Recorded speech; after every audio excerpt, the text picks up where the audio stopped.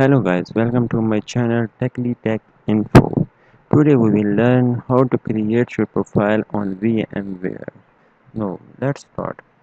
Here it said tap on login on up right corner and then customer connect. Hmm, let's uh, see we are uh, new and uh, we don't have an email or password and we will go up for sign up now. Here. Let's click on sign up now. And here is the page of sign up. And let's start. First of all we need to log in information. Email address. We will write our email address here.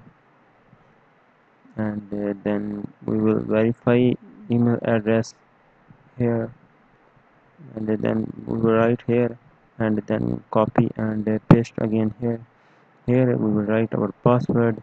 Password use at least 8 and at most 20 characters including at least one of each of the following special characters like dot question mark dollar sign etc etc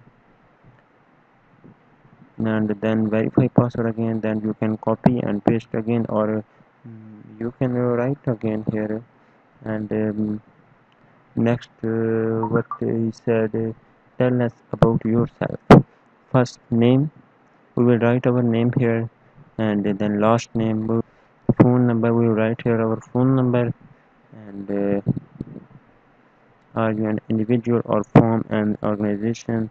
We are an individual so we will uh, this uh, individual corner and job title. Here we will write our job title address one. We will write our street home address and uh, option address two city we will write our city here. Zip and postal code here is a 5 digit uh, zip code. Country territory we can select here with the email language preference. Refer language.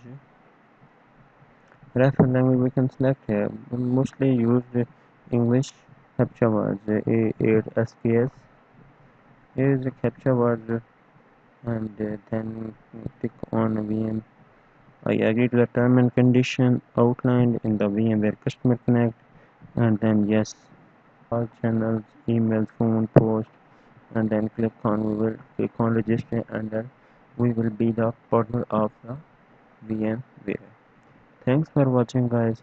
Here you can find more technical videos so don't forget to subscribe and press the bell icon